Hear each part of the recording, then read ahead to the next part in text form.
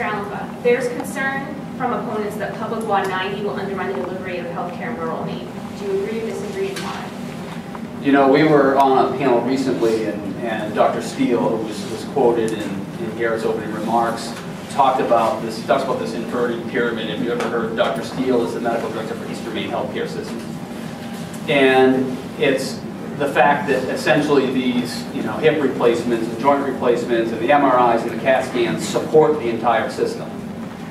I can also tell you that if you look at cost and quality data, by the way, cost and quality correlate in healthcare. Higher quality, lower cost go together nine times out of 10.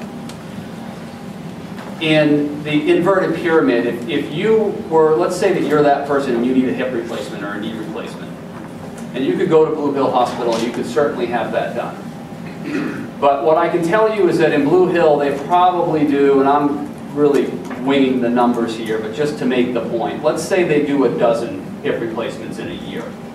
And let's say the cost of that hip replacement is $25,000 because they, again, they've got to subsidize the other services within the hospital. Down in Boston, that same hip surgery and let's say Mass General, I'm going to guess they probably do 2,000 of them a year and the cost is probably going to be closer to $6,000. There's going to be that much of a discrepancy. So I would first ask the question, if you're the patient, A, wouldn't it be nice to know what those cost differences are and the number that are done and where would you choose to have it done? And the question that I asked Dr. Steele after our, our last uh, forum was, I, I get that the rural healthcare system is sort of resting on the head of the pin. And it's very unstable simply because of that. But I completely reject the idea that this law is what's going to tip it off of the, the pinhead. The problem is that it's resting on the head of the pin. What's going to be the trigger that makes it collapse? You tell me, but clearly it's not sustainable. And this is again separating, we have healthcare delivery challenges that are separate from health insurance regulations. We need to focus on the root causes. Clearly, we need to focus on rearranging and redesigning our delivery system so that we can afford it and it serves us all regardless of where we live in this state. But our insurance regulations are not how we're going to get there. Mr. Martin, for response? So, I'm mindful that it is Halloween and you have to figure out whether this is a trick or a treat, but we'll, um, the, I just want to respond to one thing that, that Joel said, which is that, uh, that cost is nine times out of 10 is quality. Cleveland Clinic and the Mayo Clinic, two of our nation's finest medical facilities. Same procedure, $22,000 differential. It's not always the case. In Aroostook County, two hospitals within 19 miles of each other, hip replacement, $16,000 differential. Now, I do agree that all of us, including our providers, how many of you all have had the experience where you go into your doctor, they refer you to blood work, and they don't know what the cost of that blood work is. Much less that if you go to the NorDx facility, and I'm not an advertisement for NorDx, or some other facility, that you could receive that same blood work for $200 less. So I think it is true that, that many of us don't really know what the actual costs are. And, and I can say that as somebody who had a period of high consumption. So you, you learn to do that. Um, but with regard to the question about what's going to happen to rural Maine, I think the jury is out with regard to, to this particular law. And I say that because there is the provision that's going to allow insurance companies to change the way in which consumers access local care. And more than likely, that will bump out that base, the head of the pin, if you will. Um, but we just don't know because those rules are still being developed. And I think it is true that in the conversation about this bill, folks were very concerned about the implications of that. But again, I don't think folks are very honest in saying there's a problem here. Now, the other thing I want to highlight, though, with regard to the rural care and, and our future health care in general, and this is something that we haven't talked about yet, but is a big piece of this bill. This bill got rid of the Advisory Council for Health System Development. That is a body that includes providers, consumers, businesses, a whole bunch of different stakeholders in our healthcare system.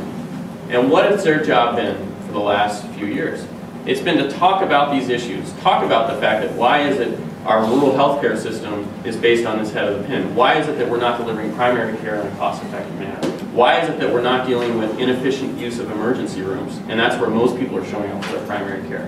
Why is it that we're having readmits all the time when we could avoid those things if we actually transition patients more effectively? That was the charge of this committee, this council. This bill did away with that group.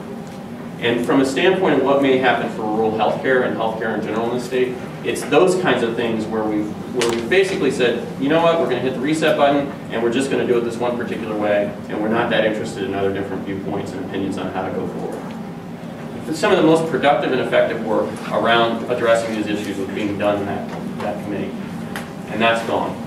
Um, So unfortunately, there was a proposal to resurrect that committee. Uh, In fact, sponsored by Representative Graham, who's here today, that, that I believe the Legislative Council has not let through. Uh, But hopefully, we will continue to push the case for that particular body and mechanism. Um, Before closing remarks, we're going to open up for any questions or comments from the audience.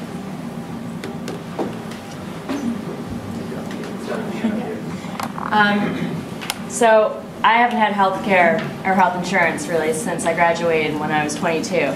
And in Maine, individual plans are astronomically high. Uh, my mother is a single woman in her 50s. She can barely afford health care, and it's a very, you know, she pays a lot of money for not a lot of coverage if this, like, I was really excited when I heard this bill because one of the reasons why I think health insurance was so expensive in this state is because there is no competition. There's one game in town, and if you don't go to Blue Cross Blue Shield, that's basically it. So what what do you think is the solution if it's not regulating health insurance or deregulating health insurance or then then what then how do we solve this problem while maintaining care in rural areas because I know that is a huge problem and Maine is a very rural state. And also, what do you do about young people? I can't afford health insurance. If I paid for health insurance, I wouldn't be able to feed myself. I wouldn't be able to have housing.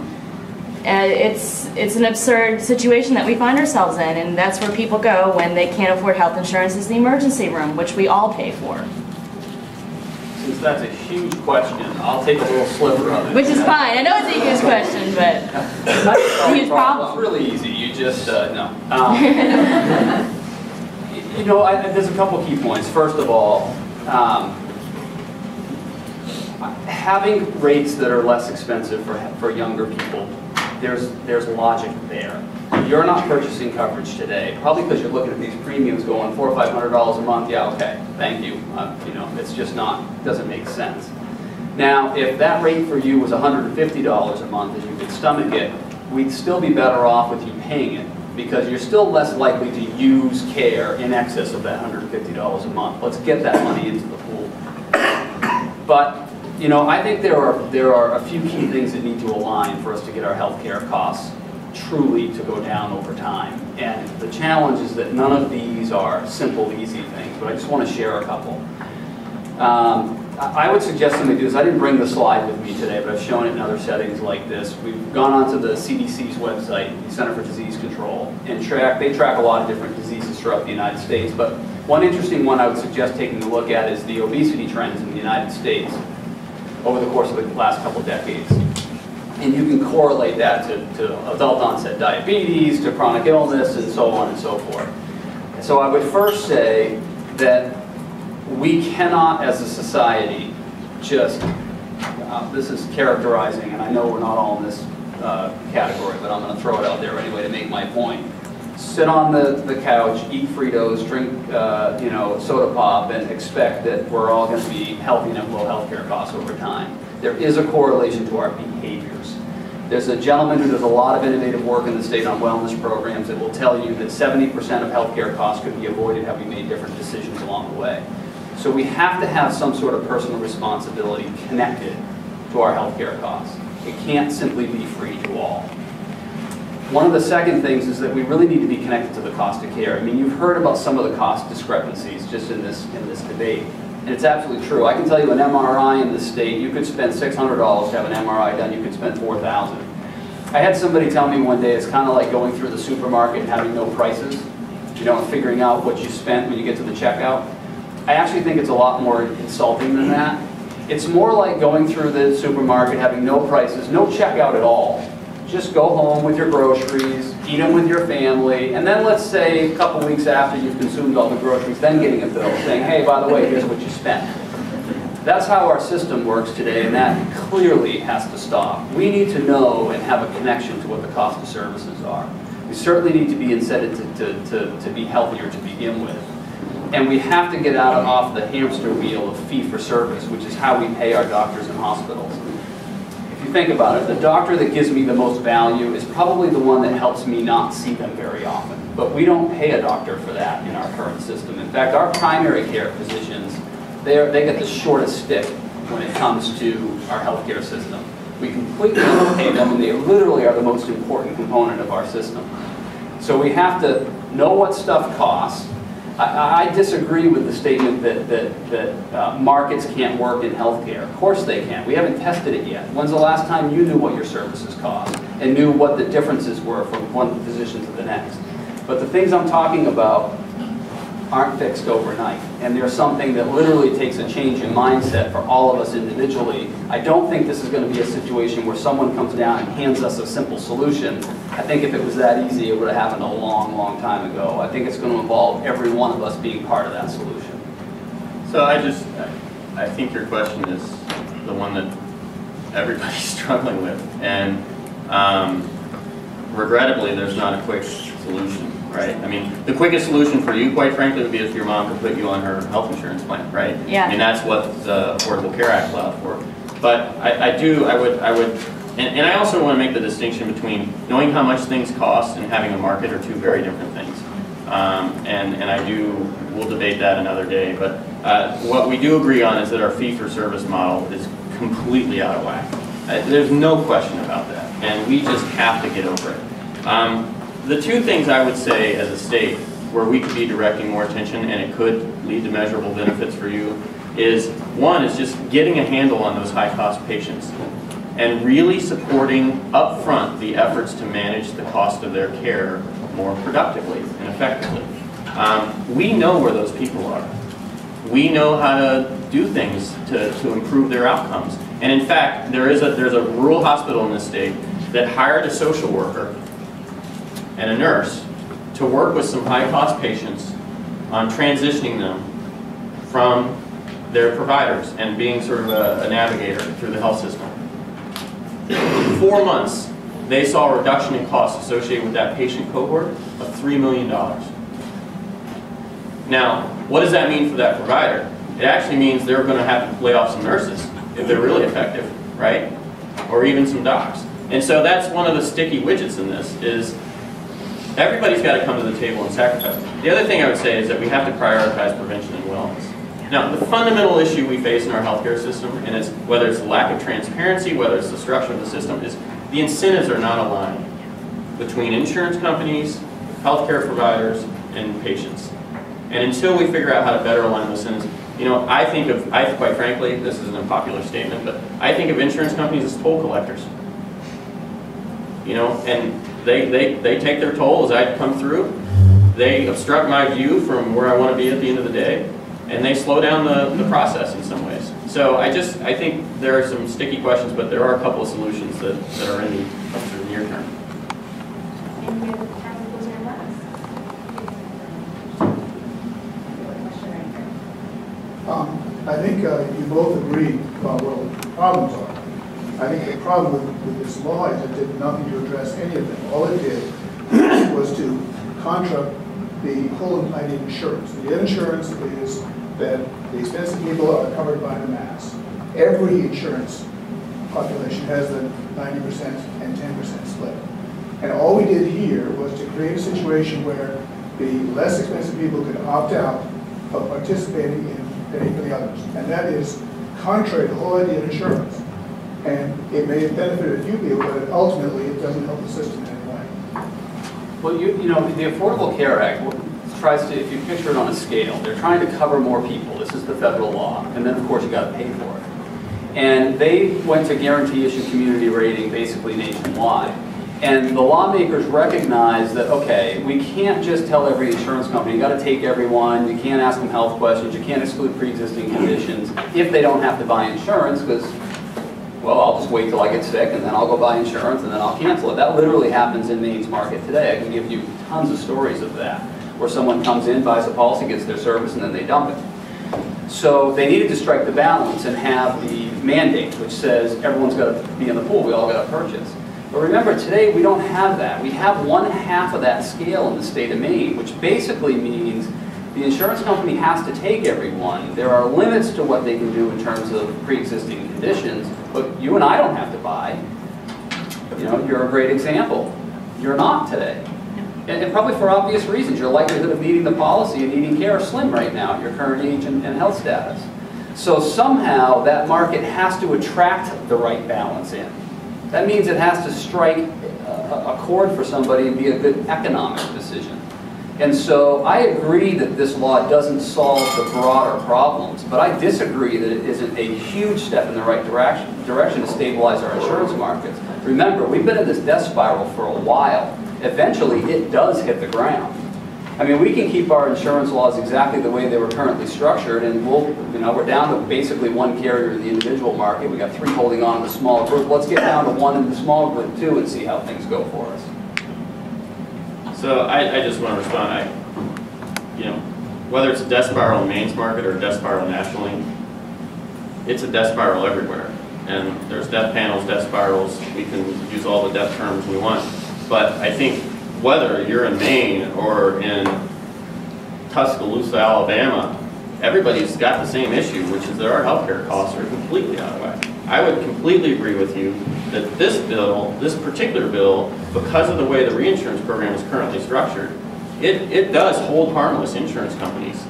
It subsidizes them. It gives them a direct subsidy against their costs of covering those high-cost patients. So it actually removes their incentive to do the things that they should be doing to manage that risk more effectively. And that's something we should be talking about because it's a huge giveaway to them. Um, and in, in, in, in, in truth, I think at the end of the day, it really, it hurts us because if they're going to sort of have that free pass, how are we going to ever control those costs? Um,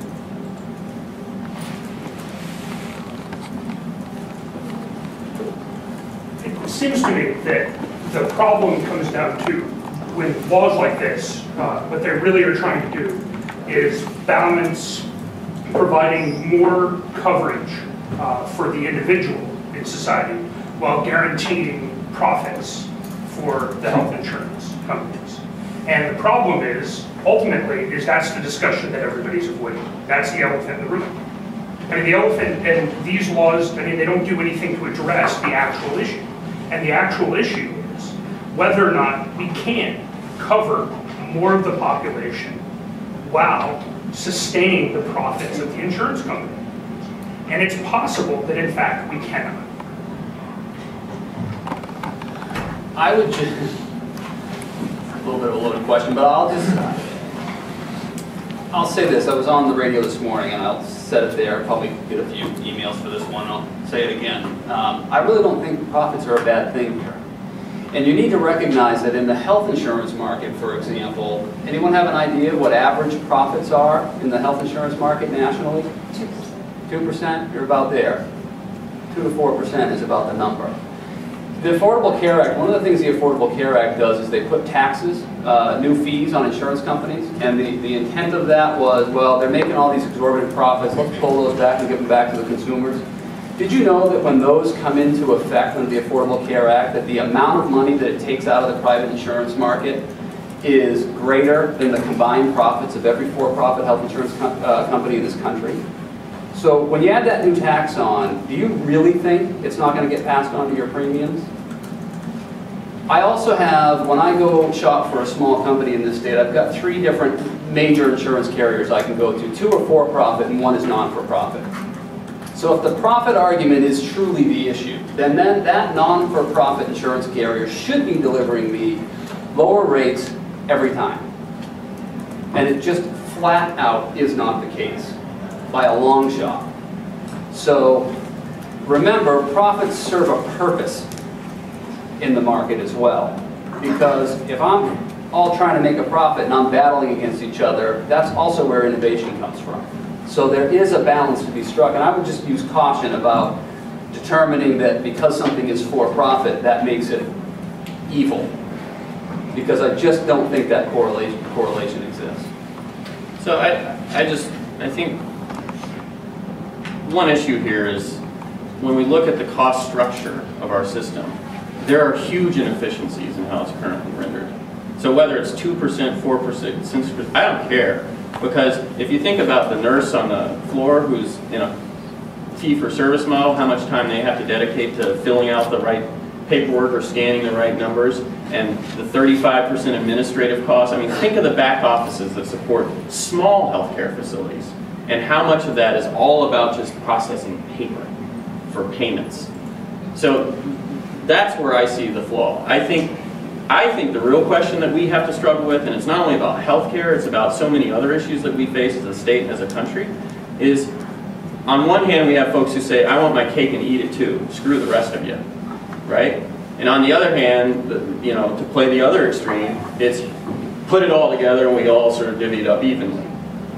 Somewhere there's a balance in between those two perspectives, and we seem incapable of putting those different alternatives on the table and really figuring out what's going to make the most sense and achieve the best outcomes that we want. I think lost in this conversation, it was all about cost, right? It's all about somebody else somewhere else getting a better deal. We weren't talking about, is it actually going to result in better health outcomes? Is it actually going to result in more people having access to health care? None of that was part of the discussion. And that's the part that drives me to distraction. Because I think the whole sort of opening it up to co- competition from out of states, that's a red herring. It wins a lot of political points, but from a substantive standpoint, it does very little to achieve the outcomes that we can agree we want. So that's my.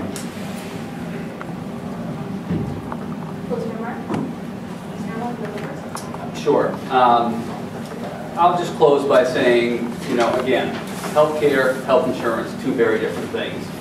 Um, This law takes a number of important steps to firm up Maine's insurance market, and it does matter.